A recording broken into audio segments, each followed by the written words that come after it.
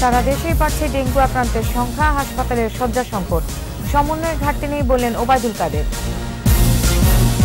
জিলহজ মাসের চাঁদ দেখা গেছে, বারো আগস্ট পবিত্র ঈদুল আজহা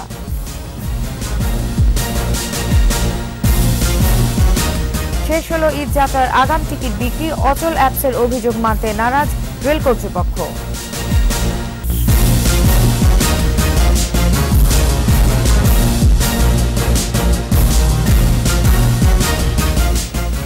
শুনছিলেন ফার্স্ট সিকিউরিটি ইসলামী ব্যাংক লিমিটেড সংবাদ শিরোনাম। আমন্ত্রণ জানাচ্ছি রাতের একুশের সংবাদে। আপনাদের সাথে আছি আমি নার্গিস মজিদ লিমা দেশের সব জেলাতেই বাড়ছে ডেঙ্গু আক্রান্তের সংখ্যা। চিকিৎসকরা বলছেন, অধিকাংশ রোগী রাজধানীতে আক্রান্ত হয়েছেন। এখন চিকিৎসা নিচ্ছেন নিজ এলাকার হাসপাতালে। এদিকে হাসপাতালগুলোতে দেখা দিয়েছে শয্যা সংকট। নেই ডেঙ্গু পরীক্ষার পর্যাপ্ত সরঞ্জামও। প্রতিনিধিদের সহায়তায় আরও জানাচ্ছেন সমর ইসলাম।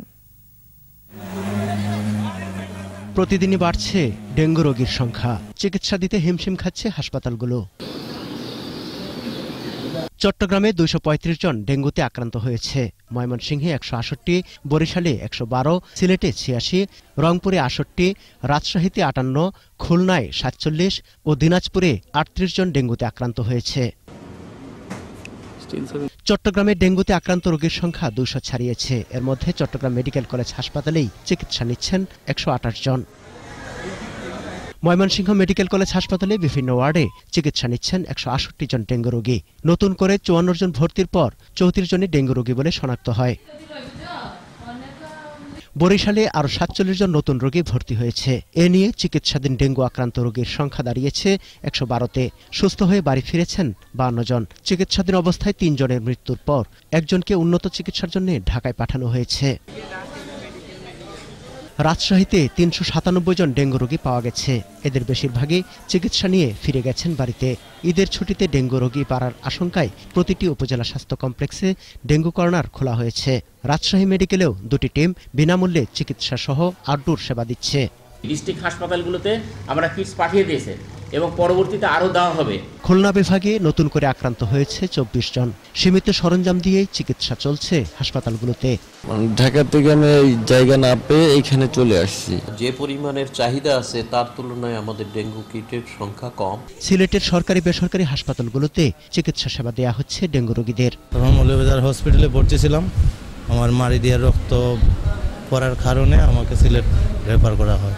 দিনাজপুরে হাসপাতাল কর্তৃপক্ষ বলছে, চিকিৎসা নিতে আসা ডেঙ্গু আক্রান্তরা প্রায় সকলেই ঢাকা যাতায়াতকারী রোগীর চাপ সামাল দিতে পৃথক ওয়ার্ড চালু করা হয়েছে। টাঙ্গাইলে উনষাট জন ডেঙ্গু রোগী চিকিৎসা নিচ্ছেন। এদের মধ্যে নতুন আক্রান্ত পনেরো জন। নয় জনকে পাঠানো হয়েছে ঢাকায়।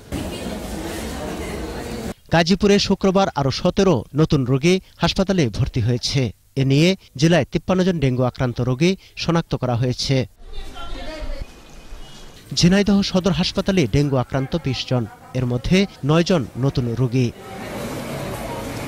সিরাজগঞ্জে নতুন আক্রান্ত চোদ্দ জন। এছাড়া নেত্রকোনায় নতুন করে আক্রান্ত হয়েছে তিনজন ঠাকুরগাঁও, চাঁদপুর সহ দেশের বিভিন্ন এলাকার হাসপাতালগুলোতে বাড়ছে ডেঙ্গু রোগীর সংখ্যা। সব হাসপাতালে চব্বিশ ঘণ্টা প্যাথোলজিক্যাল সার্ভিস চালুর দাবি ভুক্তভোগীদের। সমর ইসলাম, একুশে টেলিভিশন। ডেঙ্গু পরিস্থিতি সামাল দিতে সরকারি দপ্তরগুলোর মধ্যে সমন্বয়ের ঘাটতি নেই বলে জানিয়েছেন সড়ক পরিবহন ও সেতুমন্ত্রী ওবায়দুল কাদের। একই সাথে দল মত নির্বিশেষে সবাইকে এগিয়ে আসার আহ্বানও জানান তিনি। রাজধানীর বঙ্গবন্ধু এভিনিউতে আওয়ামী লীগের পরিচ্ছন্নতা কর্মসূচিতে অংশ নেন দলের সাধারণ সম্পাদক ওবায়দুল কাদের। বলেন ডেঙ্গু পরিস্থিতি নিয়ন্ত্রণে আনতে কাজ করছে সরকার। এছাড়া মশা নিধনে ব্যবহৃত ওষুধ পরীক্ষা করা হচ্ছে। শিগগিরই এডিস মশা নিধনে নতুন ওষুধ আনা হচ্ছে বলেও জানান ওবায়দুল কাদের।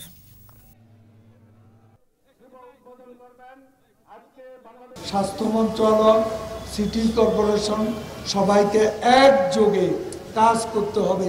সমন্বিতভাবে এই ভয়াবহ যে রোগ এবং মশা এর বিস্তার রোধে চিকিৎসকরা ব্যস্ত আছেন। খুব শিগগিরই এই কার্যকর ঔষধ বাংলাদেশে আনার ব্যবস্থা করা হচ্ছে। জিলহজ মাসের চাঁদ দেখা গেছে। আগামী বারো আগস্ট সারা দেশে পবিত্র ঈদুল আজহা উদযাপিত হবে।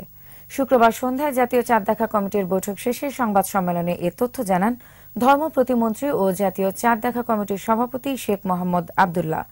তিনি বলেন, দেশের বিভিন্ন স্থানের আকাশে চাঁদ দেখা গেছে। হিজরি বর্ষ হিসেবে জিলহজ মাসের দশ তারিখ ঈদ হবে।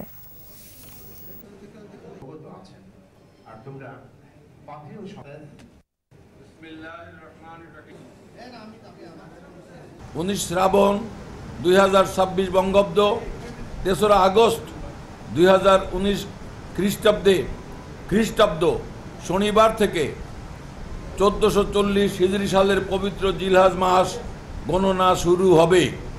প্রেক্ষিতে দশ, দশই জিলহজ, চোদ্দোশো চল্লিশ হিজরি, বারোই আগস্ট দুই হাজার উনিশ খ্রিস্টাব্দ সোমবার, সারা দেশে পবিত্র ঈদ উল আজহা উদযাপিত হবে।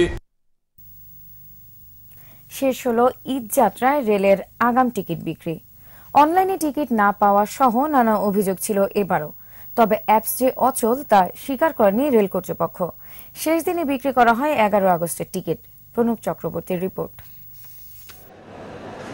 ঈদ যাত্রার আগাম টিকিট কিনতে গেল চার দিন তিল ধারণের ঠাঁই ছিল না কমলাপুর স্টেশনে। কিন্তু আজ ছিল অন্য দিনের তুলনায় অনেকটাই ফাঁকা। এগারো আগস্টের টিকিট যারা নেবেন, এ অপেক্ষা তাদেরই। গতকালকেও আমি আসছিলাম গতকালকে টিকিট পাই নাই কিন্তু আশা করতেছি আজকে পাবো। রাত আড়াইটার দিকে দেওয়ার পরে এমন অবস্থায় আছে। চারবার পাঁচবার লাইন হয়েছে ভাঙছে। দাঁড়ায় রয়েছে পাবো কিনা আল্লাহ ভরসা। আশা করি টিকিট পাবো বাসায় যেয়ে সবার সাথে আনন্দ করে ঈদ করতে পারব।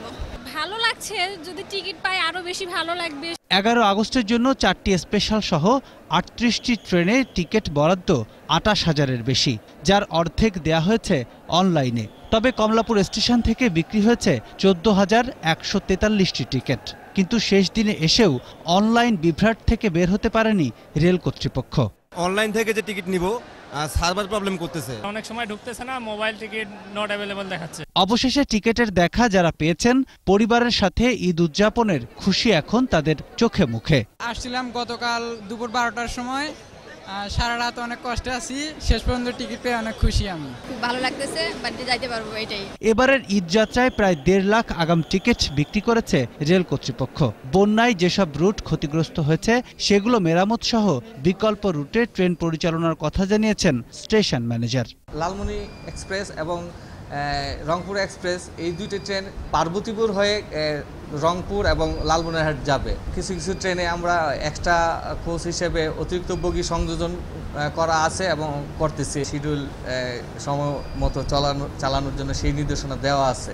যাত্রার দু ঘণ্টা আগে ট্রেনে দাঁড়িয়ে যাওয়ার টিকিট স্টেশন থেকেই বিক্রি করবে রেল কর্তৃপক্ষ। প্রণব চক্রবর্তী, একুশে টেলিভিশন, ঢাকা। শোকাবহ আগস্ট।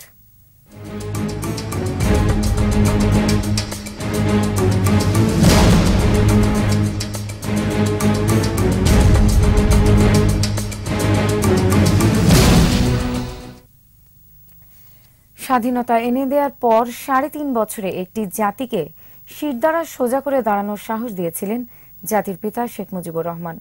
পঁচাত্তরের পনেরো আগস্টের কালো রাতে সপরিবারে বঙ্গবন্ধুকে হত্যা করার পর ইতিহাস মুছে ফেলতে চেয়েছিল ষড়যন্ত্রকারীরা। কিন্তু পঁচাত্তর পরবর্তী প্রজন্ম বঙ্গবন্ধুকে চিনেছে সাদা কালো স্থিরচিত্রে আর জাতির পিতার বহু আবেগ অনুভূতি ধরা পড়েছে চিত্রগ্রাহক পাভেল রহমানের ক্যামেরায়। তার মতে, বঙ্গবন্ধু সাধারণে অসাধারণ। আরও জানাচ্ছেন আকবর হোসেন সুমন। সংগ্রাম, আমাদের মুক্তির সংগ্রাম। এবারে সংগ্রাম স্বাধীনতার সংগ্রাম। নিষ্পেষিত, নির্যাতিত, শোষিত বাঙালি জাতিকে মুক্তির পথ দেখিয়েছিলেন স্বাধীনতার মহানায়ক বঙ্গবন্ধু শেখ মুজিবুর রহমান। বাঙালি নেতা হিসেবে নিজেকে নিয়েছিলেন কৃষক মজুর শ্রমিক থেকে মুক্তবুদ্ধির প্রগতিশীল জনতার কাতারে। উনিশশো তিয়াত্তর সালে ছাত্র ইউনিয়নের জাতীয় সম্মেলনে প্রধান অতিথি স্বাধীন বাংলাদেশের স্থপতি ও প্রধানমন্ত্রী শেখ মুজিবুর রহমান। এই ছবিতে পর্দার ফাঁকে উৎসুক টোকাইদের অনুপ্রবেশী বলে দেয়, বাড়তি নিরাপত্তার ধার ধারেননি বাঙালি নেতা। লুঙ্গিতে শতভাগ বাঙালিয়ানার ছাপ, ঠোঁটে কামড়ে ধরা পাইপে গম্ভীর ব্যক্তিত্ব, রাষ্ট্রের প্রধান হয়েও কি সাধারণ তার জীবন? স্বাধীনতার পর অবিরাম দেশ বিদেশে ছুটে চলা, বঙ্গবন্ধুর ঘাড়েই শোষিত মানুষের অধিকার প্রতিষ্ঠার দায়িত্ব। বারুদে পোড়া মাটিতে সোনালি সবুজ ফসলে বুনতে চেয়েছেন সোনার বাংলার স্বপ্ন। একটা যুদ্ধ বিধ্বস্ত দেশে যা থাকে, রেল লাইন নাই, আপনার ইলেকট্রিসিটি নাই, রাস্তা নাই, গাড়ি নাই ফরেন কারেন্সি নাই, সেগুলোর জন্য উনি খুবই মানে ওনার রাতের ঘুম হারাম হয়ে গেছিল যে কী করে দেশের মানুষকে বাঁচাবে। এদিকে একটা সো কল্ড আর কি বানানো দুর্ভিক্ষ শুরুই হয়ে গেছিল। ষড়যন্ত্রকারীরা তো বসেছিল না। তখন তো দেশের বিরুদ্ধে কথা বলার দরকার নেই। আমরা থেকে দেশ গড়ার কাজ করতে হবে। এবং সেই গড়ার কাজটা করতে যেয়েই উনি এই বিপদগুলোর সম্মুখীন হলেন। গণপরিষদের খসড়া শাসনতন্ত্র পরে সংবিধান। শপথ বাক্য পাঠ করার পর থেকে বিমূর্ত ছবিগুলোর প্রতিটি মুহূর্ত কেটেছে ব্যস্ততায়। সাদা কালো এই ছবিগুলোই বলে দেয় গোটা দেশই তার পরিবার আর বঙ্গবন্ধুই যেন বাংলাদেশ।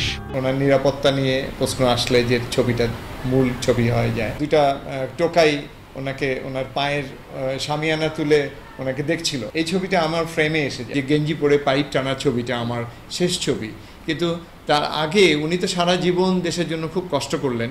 কিন্তু একটি দিন উনি সবচেয়ে বেশি আনন্দ করেছিলেন। সেই স্মৃতিটা আমার কাছে সাংঘাতিক। কামাল ভাইয়ের বিয়ে ছিল। জাতির পিতার কর্মযজ্ঞ আজ স্থির, তবে থেমে থাকেনি বঙ্গবন্ধুর স্বপ্ন। অসাম্প্রদায়িক চেতনায় উন্নত সমৃদ্ধ দেশের পথেই এগিয়ে যাচ্ছে বঙ্গবন্ধুর বাংলাদেশ। আকবর হোসেন সুমন, একুশে টেলিভিশন, ঢাকা। নিচ্ছি বিরতি, যখন ফিরছি তখন অন্যান্য খবরের সঙ্গে আরও যা থাকবে। ঠাকুরগাঁওয়ে দুই বাসের সংঘর্ষে মৃতের সংখ্যা বেড়ে আট, আহত উনিশ। সাভারে তিনজনের মৃত্যু। ডেঙ্গু নিয়ে ব্যবসা না করতে চিকিৎসক ও হাসপাতাল কর্তৃপক্ষের প্রতি আহ্বান তথ্যমন্ত্রীর।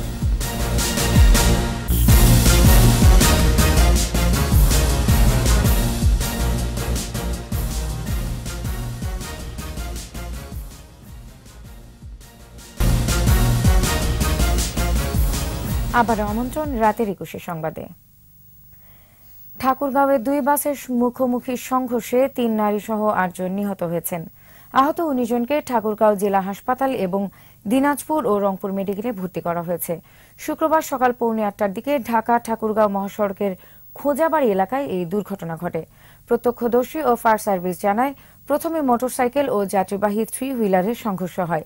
সে সময় দুর্ঘটনাস্থল অতিক্রম করতে গিয়ে ডিপজল এন্টারপ্রাইজের একটি বাস এবং বিপরীত দিক থেকে আসা নিষাদ পরিবহনের আরেকটি বাসের সংঘর্ষ হয়। এদিকে পৃথক সড়ক দুর্ঘটনায় সাভার ও ধামরাইয়ে কলেজ ছাত্রী সহ তিনজন নিহত হয়েছে। এ সময় আহত হয়েছে অন্তত দশ জন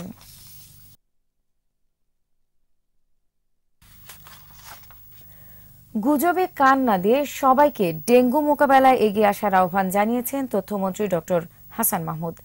ডেঙ্গু নিয়ে ব্যবসা না করতে চিকিৎসক ও হাসপাতাল কর্তৃপক্ষের প্রতি আহ্বান জানান মন্ত্রী। আর সরকার, চিকিৎসক ও সাধারণ মানুষ এগিয়ে আসলে ডেঙ্গু সংকট থেকে দেশবাসী রক্ষা পাবে বলে আশা করে শিল্পী সমাজ। তহিদুর রহমানের রিপোর্ট। ডেঙ্গুর প্রাদুর্ভাব মোকাবেলায় Bangladesh film development corporation, BFDC আয়োজিত এই সচেতনতামূলক আয়োজন। এতে তথ্যমন্ত্রী ডক্টর হাসান মাহমুদ সহ চলচ্চিত্র জগতের সিনিয়র সদস্যরা অংশ নেন। এফডিসি প্রাঙ্গণ থেকে বের হয় একটি র্যালি। পরে সকলে পরিচ্ছন্ন অভিযানে অংশ নেন। সারা দেশের মানুষ। পুরো। পুরো বাংলাদেশের লোক কীভাবে আসবে সেই ব্যবস্থা গভর্নমেন্ট যে আঙিনাতে আমরা থাকি যে এলাকায় আমি থাকি ওই জায়গাটা যদি আমরা পরিষ্কার রাখি তাহলে নিশ্চয়ই আমরা সুস্থ জীবন পাবো। এডিস মশা এতটা বেড়ে গেছে শুধু কিন্তু আমাদের সারা দেশের মানুষ অসচেতন বলেই হচ্ছে এটা বেড়েছে। র্যালির আগে তথ্যমন্ত্রী এ রোগ মোকাবেলায় সচেতনতার উপর গুরুত্ব আরোপ করেন। কিছু কিছু প্রতিষ্ঠান এবং চিকিৎসক এই দুর্যোগকে ব্যবসার হাতিয়ার হিসাবে ব্যবহার করার অপচেষ্টা চালাচ্ছে। গুজব তৈরি করা হয়ে হচ্ছে এই ডেঙ্গুর প্রকোপকে নিয়ে। যে বেসিনের মধ্যে ব্লিচিং পাউডার হারপিক ঢেলে দিলে ডেঙ্গু মশা নষ্ট হবে যেটি সর্বৈব মিথ্যা। ডেঙ্গু মোকাবেলায় আবাসস্থলগুলো নিজ দায়িত্বে পরিষ্কার রাখার তাগিদ দেন অভিনয় শিল্পীরা। আমার খুব শখ ছিল লেকের পাশে বাসা করা কিন্তু মশার যন্ত্রণা এখন আমার কাছে মনে হয় যেন আমার বাড়িটা লেকের পাশে না করলে ভালো হতো। তো এটার কারণটা হলো যে যে সিটি কর্পোরেশনের তার দায়িত্ব আসলে ঠিকমতো পালন করে। এডিস মশা নিয়ন্ত্রণে সিটি কর্পোরেশনের ভূমিকায় ক্ষোভ জানান কেউ কেউ। তৌহিদুর রহমান, একুশে টেলিভিশন, ঢাকা। এবার আমাদের সাপ্তাহিক আয়োজন সোশ্যাল ইসলামী ব্যাংক লিমিটেডের সৌজন্যে আমার বাংলা।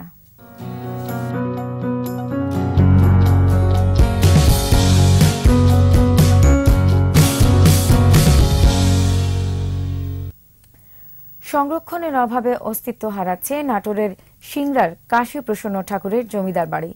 এরই মধ্যে বেদখল হয়ে গেছে কয়েক কোটি টাকার সম্পদ। আড়াইশো বছর আগে সাধক মোহন মিশ্র ঠাকুর এই গ্রামে এসে বসতি করেন তার সেবায়ের জন্য নাটোরের রাজপরিবার থেকে জমিদারির কিছু অংশ দান করা হয়। মোহন মিশ্র ঠাকুরের মৃত্যুর পর উত্তরাধিকারী কাশী প্রসন্ন ঠাকুর স্কুল, মাদ্রাসা ও দেবালয় প্রতিষ্ঠা করেন। প্রজাদের পানির কষ্ট মেটানোর জন্য প্রায় তিনশো পঁয়ষট্টিটি পুকুর খনন করেন তিনি। সময় পরিক্রমায় এখন রাজপ্রাসাদ আর দেবালয় অবৈধ দখল আর ধ্বংসের পথে।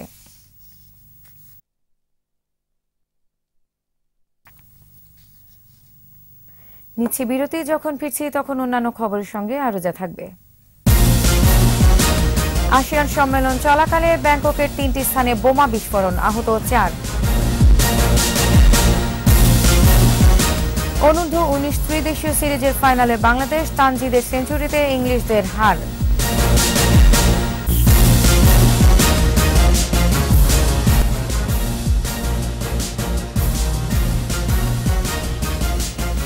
আবারও আমন্ত্রণ রাতের একুশে সংবাদে। এবার প্রবাসের খবর।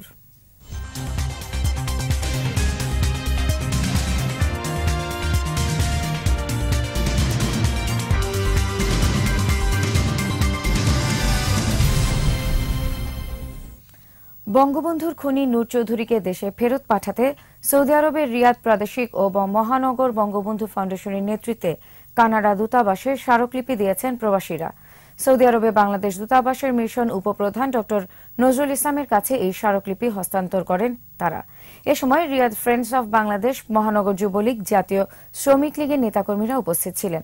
স্মারকলিপিটি গ্রহণ করে মিশন উপপ্রধান জানান, দ্রুততম সময়ের মধ্যে এটি কানাডা দূতাবাসের সংশ্লিষ্ট কর্মকর্তার হাতে তুলে দেওয়া হবে। পরে মানববন্ধন করেন ফাউন্ডেশনের নেতাকর্মীরা।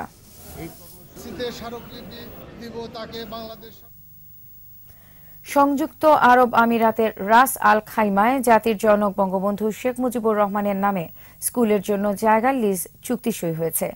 রাস আল খাইমা লিজ ডিপার্টমেন্টের সাথে চুক্তি সম্পাদন শেষে সংবাদ সম্মেলনে কথা বলেন আমিরাতে নিযুক্ত বাংলাদেশের রাষ্ট্রদূত মোহাম্মদ ইমরান। তিনি বলেন, সাতাশি হাজার চারশো স্কোয়ার ফুটের এই জমিতে আগামী এক বছরের মধ্যে জাতির জনক বঙ্গবন্ধু শেখ মুজিবুর রহমানের নামে স্কুল ভবন তৈরি করা হবে। বঙ্গবন্ধুর জন্মশত বার্ষিকীতে আমিরাত প্রবাসীদের শ্রদ্ধা ও ভালোবাসার স্মারক হিসেবে চালু হচ্ছে এই স্কুল।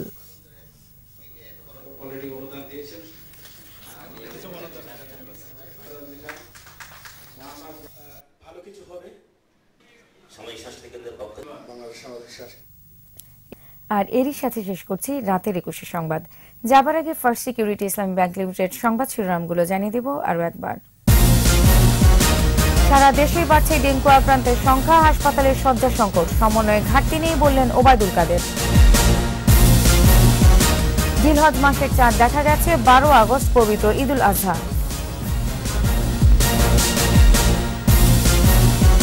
শেষ হলো ঈদ যাত্রার আগাম টিকিট বিক্রি, অচল অ্যাপসের অভিযোগ মানতে নারাজ রেল কর্তৃপক্ষ।